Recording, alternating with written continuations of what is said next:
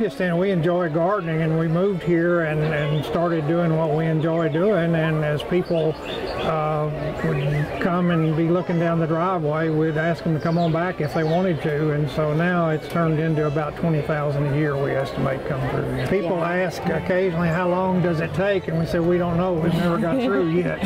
so. We like to add something every year. This, this swing area was last year, and then the arch down there is this year. Y'all have any plans for next year? I do, but he doesn't.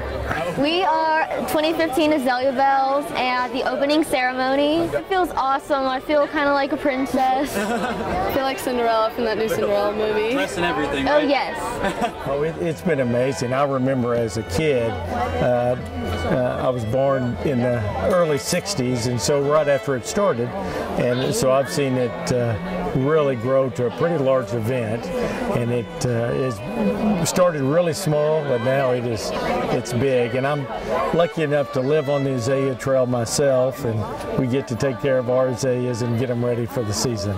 We bring about 100,000 visitors to the Azalea Trails, and it's an economic impact of about two and a half million dollars to the community. So on a tourism, that's a very large thing and very important for the community.